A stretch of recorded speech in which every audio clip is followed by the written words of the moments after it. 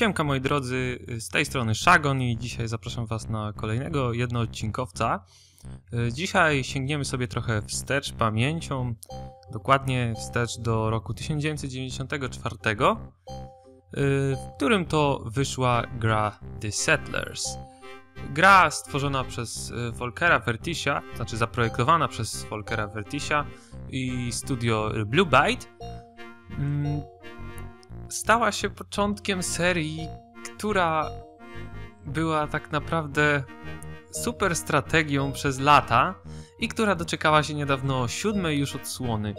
Naprawdę, naprawdę fajna, sympatyczna gierka, biorąc pod uwagę to, że yy, może być przeznaczona tak naprawdę dla każdego przedziału wiekowego, biorąc pod uwagę to, jaki jest klimat w gierce.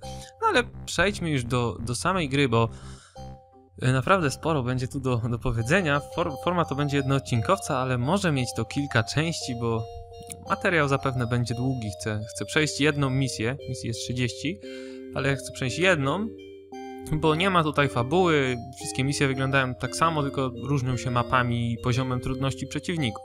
Dlatego postanowiłem, że nie będę nagrywał jakiejś serii z tego, bo po- prostu zanudzilibyście się tutaj na śmierć.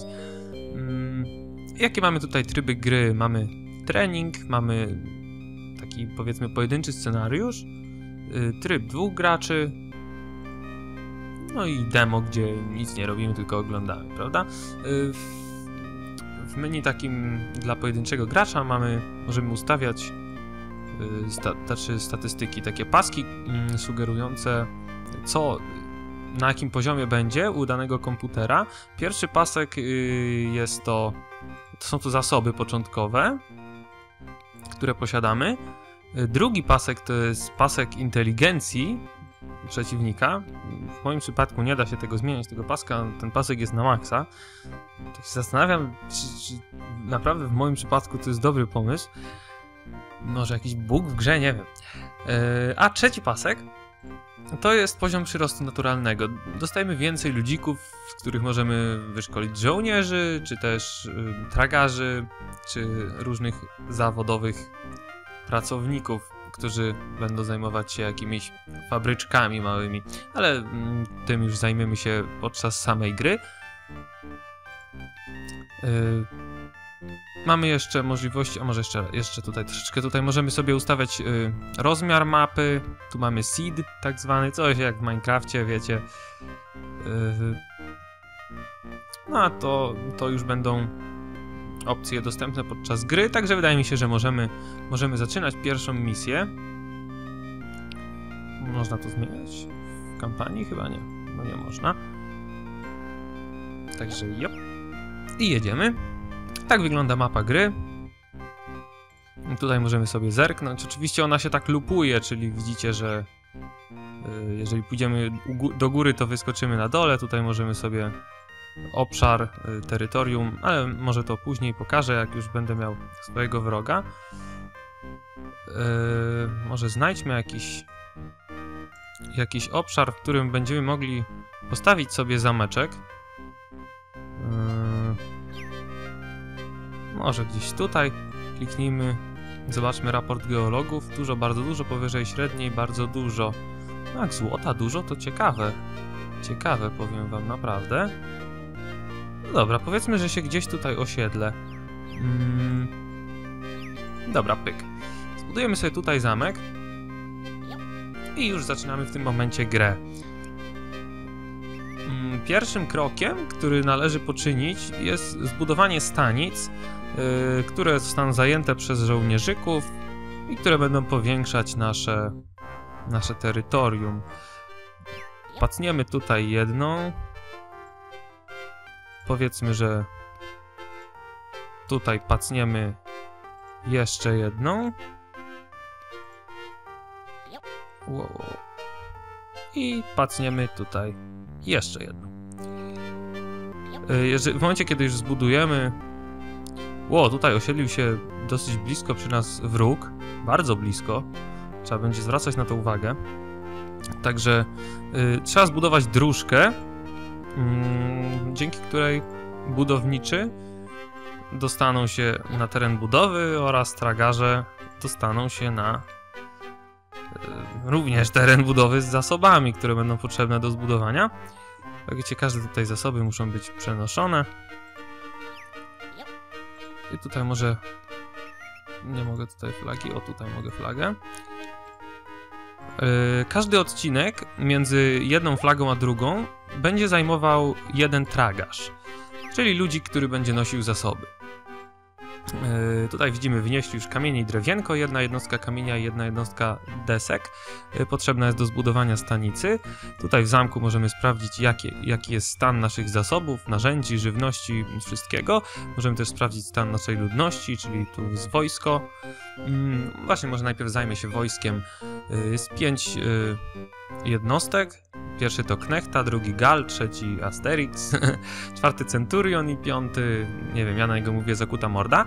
Powiedzmy, powiedzmy, że to będzie rycerz. I oni zajmują miejsce y, w stanicach. Mm, ten frajer tutaj będzie coś jeszcze budował. Może tu sobie zbuduje jeszcze jedną z tą stanicę. Dlatego, że jak on zacznie się budować, to będzie mi przejmował terytorium. A tego nie chcemy. Mhm. Powiedzmy, że tu pacnę jedną. Yy, są trzy jednostki, a czy są trzy jednostki, przepraszam, trzy rodzaje budowli, które yy, mogą być zajmowane przez wojsko. Dobra. Yy, powiedzmy, nie, nie znajdę tutaj no, coś takiego. Jest, pierwszą jest stanica, drugą jest y, warownia, czyli to, a trzecią jest forteca. Czym się one różnią? Y, różnią się tym, że przede wszystkim y, ilością wojsk, które pomieści się w środku. W stanicy zmieści się trzech żołnierzy, w warowni sześciu, a y, w fortecy dwunastu. Przepraszam.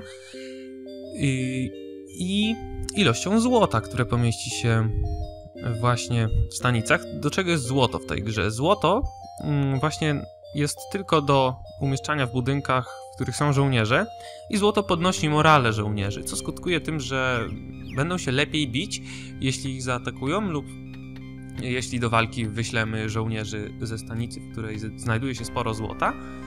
I złoto też sprawia, mm, że żołnierze szybciej awansują. Awansują mm, w swoim poziomie, czyli wiecie, w tej kolejności, jak powiedziałem. Od tego do tego zakutej mordy. I będą się lepiej bić. Wiadomo, lepiej wyszkolona jednostka potrafi więcej zdziałać. Chociaż tak naprawdę tutaj zależy to od morale, bo często zdarza się, że jednostki słabsze, które mają dużo wyższe morale, są w stanie pokonać mocniejsze jednostki, które, które y, tego morale już tak dużego nie mają. Dobra, stanęła już jakaś stanica. Dobra, jedna stanęła, widzimy, że żołnierzyki idą. Więc mogę zacząć budować mm, coś innego. Tutaj zbuduję sobie flagę. I wyślę tam geologa. A nie, zaraz. A, Jezus Maria. Dobra, nie zbudowałem drogi. Pozdro.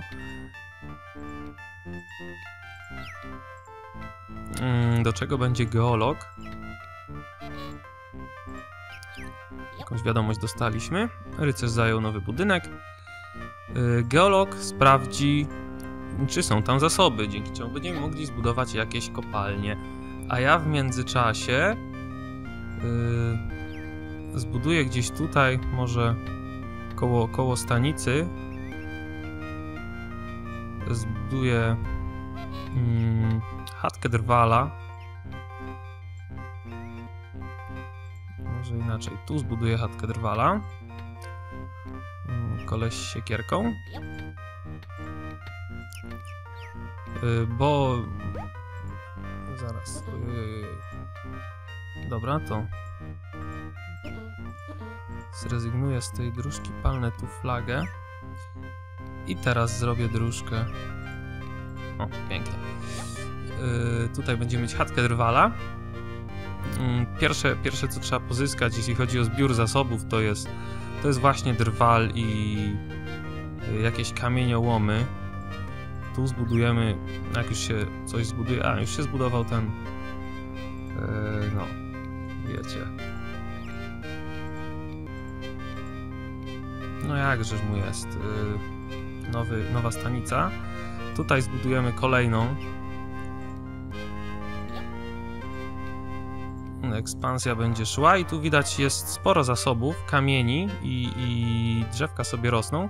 Będziemy mogli tam y, zbudować obok kamieniołom, znaczy chatkę kamieniarza. Może kamieniołom, kamieniołomem to nazywać to jest trochę przesada. Ten geolog sobie z łopatką będzie chodził.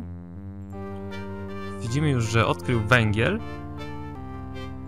On sobie tu będzie klepał dalej tą łopatą. Rycerz zajął budynek. Tutaj zbudujemy tę chatkę drwala. Tu jest sporo drzew.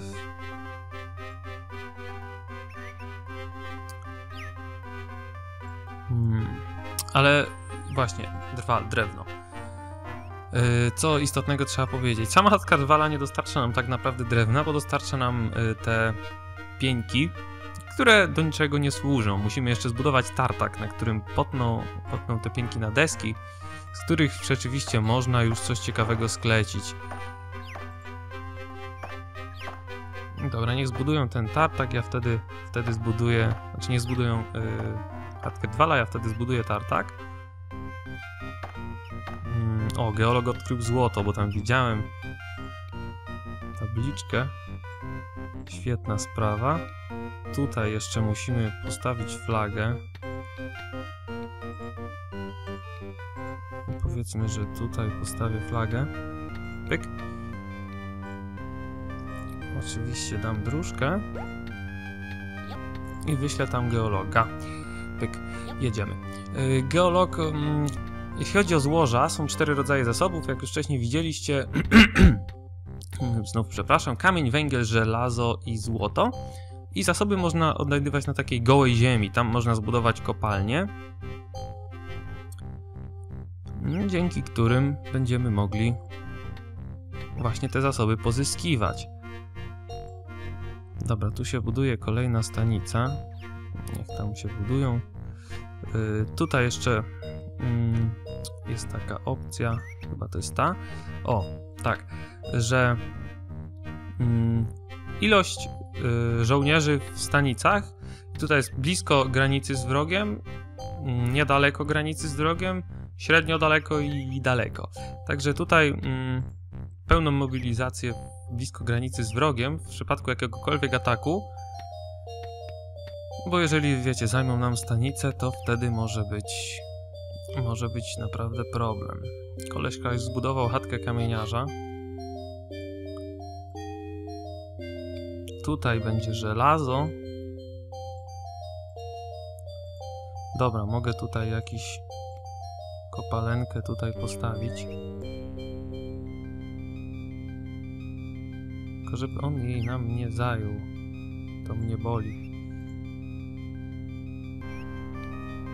On tu chyba buduje stanicę. I wtedy zajmie nam troszkę obszaru. Nic, postawimy tą kopalnię tutaj najlepiej będzie. I będzie to kopalnia węgla. Mhm. Może tą flagę utniemy tą dróżkę i tą flagę wywalimy.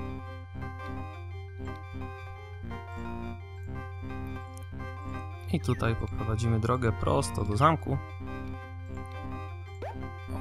gitara.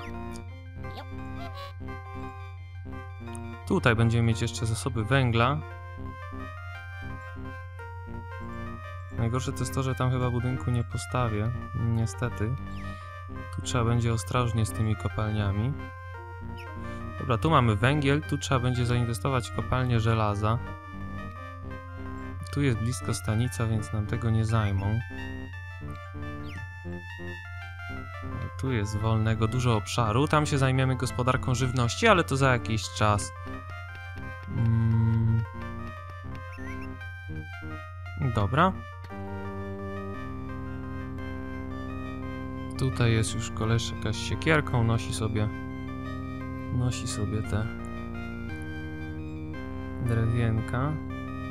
Tutaj nie będę tartaku budował. Powiedzmy, że tartak zbuduję gdzieś tu. Dlatego że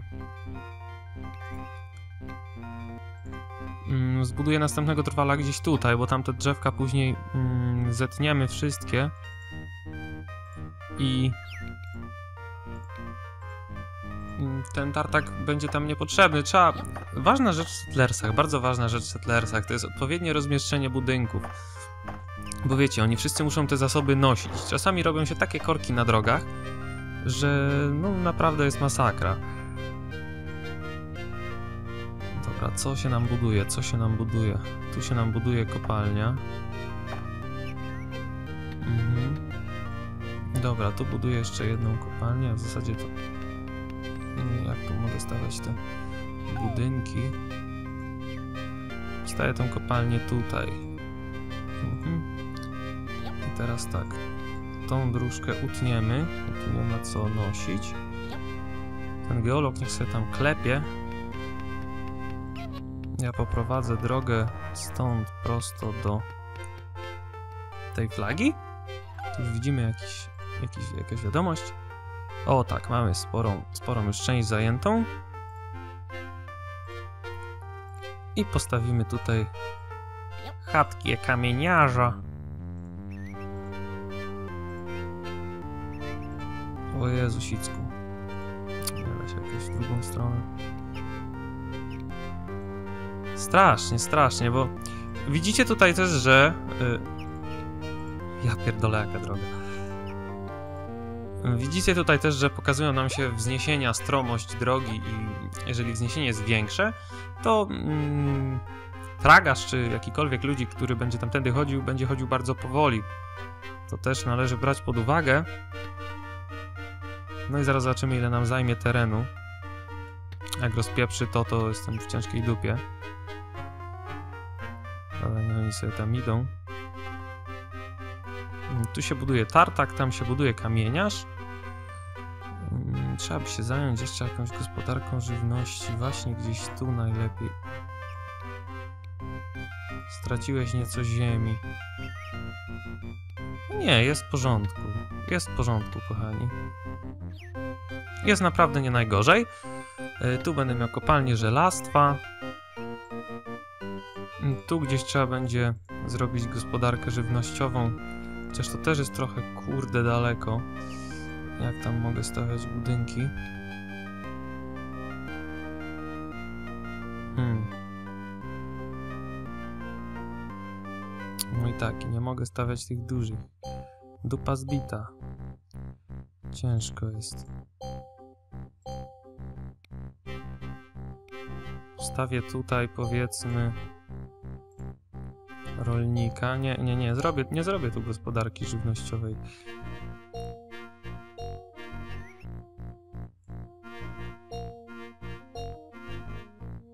Mm, Może zrobię ją tutaj.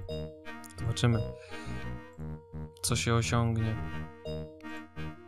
Ale tutaj z kolei też jest dupa zbita.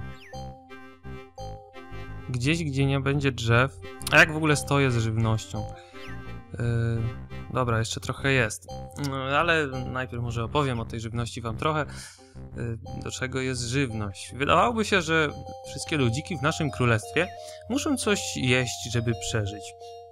Okazuje się, że nic bardziej błędnego, kochani. No, yy, wszyscy tutaj chodzą na powietrze, działają na powietrze za wyjątkiem górników, którzy, którzy potrzebują jedzenia, żeby pracowali. Jeżeli, jeżeli nie, da, nie damy im żarcia, to nie będą kopać. Nie, chce, będzie się chciało robić za darmo, nie?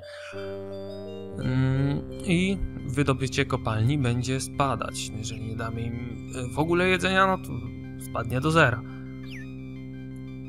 Także trzeba też to brać pod uwagę.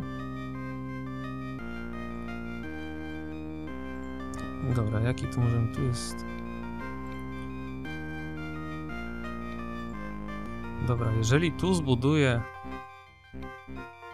rolnika, e, rolnik, rolnik, rolnik, który będzie hodował zboże. A no widzicie, nie mogę zbudować już. No nie, to na razie nie. Tak, zniszczenia. Nie wynoście mi tam zasobów. Niech ten drwal coś tutaj wytnie.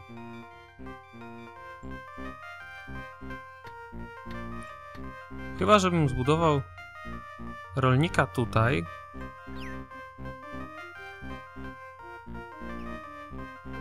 Drzew nie ma. Hmm. Chociaż w zasadzie nie. Nie, dobrze, zbuduję tu rolnika. I już stawiam tutaj drogę.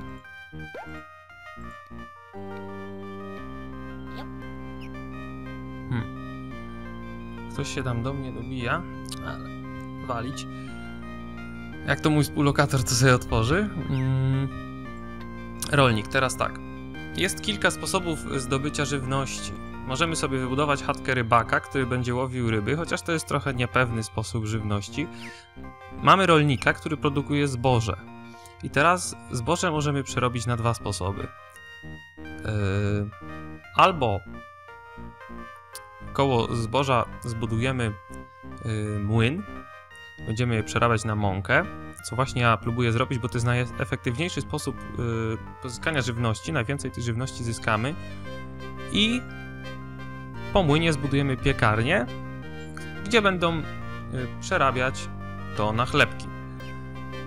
Dlatego, dlatego to jest właśnie dobry sposób. Yy, dlaczego to jest dobry sposób? Dlatego, że yy, to jest wydajny bardzo sposób. Yy, tak jak mówię, yy, najszybszy ze wszystkich trzech. Najszybszy ze wszystkich trzech. Yy, kolejnym sposobem jest yy, przerabianie tego na mięso. I tutaj zboża nie przerabiamy na mąkę, tylko dajemy je yy, świniarzowi, który pasie sobie świnki i później budujemy rzeźnika, który przerabia świnki na mięsko. Dobra, tu się będzie budowała, budował ten rolnik. Kamieniarz, kamieniarz się buduje, jest w porządku. Tu się buduje tartak, jest również w porządku. Tutaj robią coś. Hmm. A, wjeżdża dopiero na dół. Jakieś żarło powinni zanieść. O, niosą rybki. Dobra. Niosą rybki, jest ok. Hmm. Dobra. Co straciłem? Gdzie straciłem? Ale koleżka ma granitu. Znaczy kamieni. Ale dobra, ja mam tutaj pełno kamieni. Dzięki czemu też będę mógł je jakoś wydajnie pozyskiwać. Ważne, żebym nie stracił tej cholernej kopalni. To jest, to jest super sprawa. Zobaczymy, czy ten coś kopie tego węgla. 10%. Dobra, coś tam kopie. Jest ok. Teraz może, korzystając wolną chwilę, coś wam tutaj opowiem. Pokażę wam, jak wygląda mapa. Teraz właśnie możemy zobaczyć tutaj obszar, terytorium zajęte, sieć dróg. Możemy włączyć, wyłączyć, zabudowania, siatkę mapy, czyli tu jest właśnie ten taki loop, o którym wspominałem. Jedna taka kratka to jest cała mapa. No i poza, poza nią to wszystko się powtarza. Możemy też y, zaznaczyć y, lubkę, która powiększy nam po prostu zoom.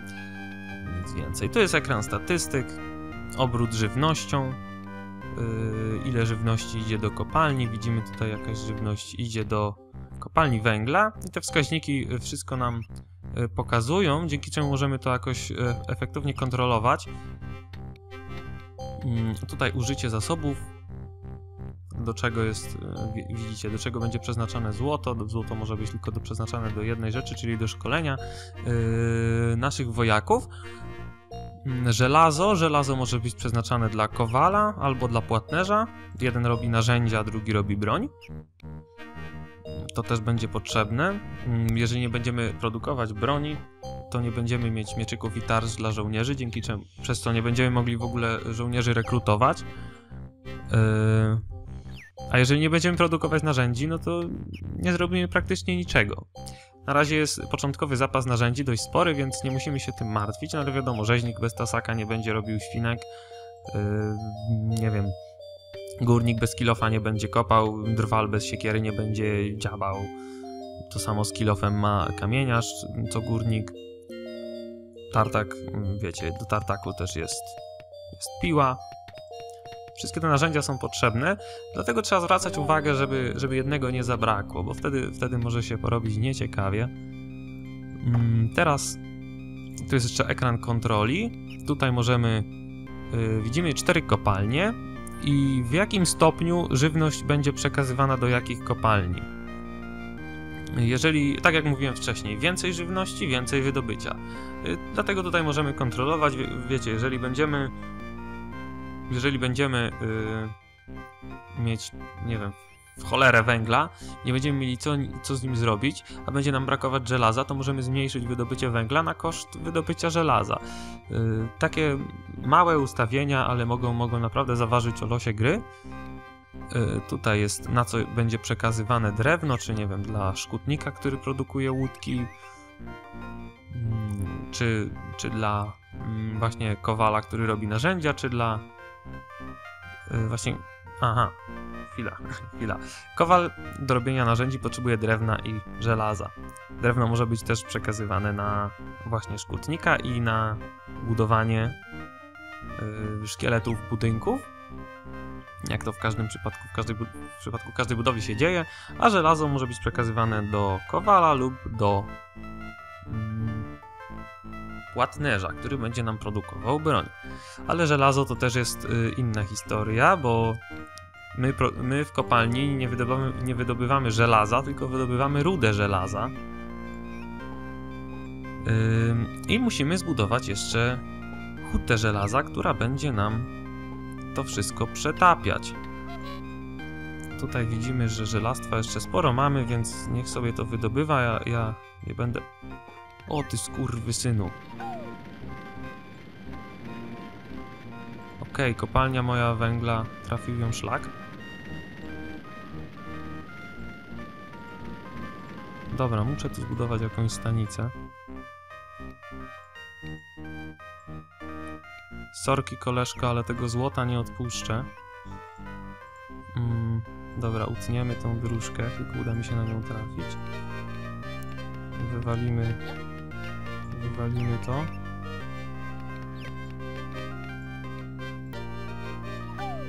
Dobra. I budujemy. Gitara. Jak tylko zbuduję to, to zbuduję tutaj zaraz obok kopalnię złota bo złoto będzie nam potrzebne. W razie czego będziemy mogli się później bić. Yy... Dobra, on tu nie buduje żadnej stanicy. Już chyba nie zbuduje, nie? Yy, tutaj mogę wybudować drugą kopalnię węgla.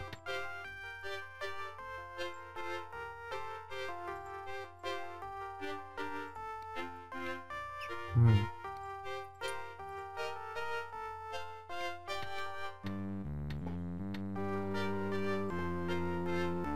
Nie, tu wybuduję jeszcze jedną.